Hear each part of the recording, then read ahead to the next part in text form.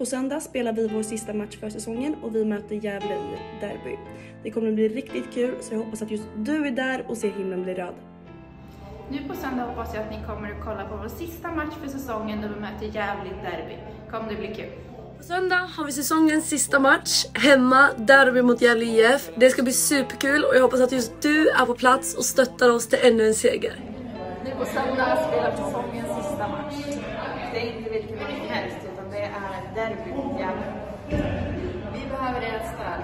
Kom och stötta oss Och. Till alla dem som sitter där uppe bland moln och tittar ner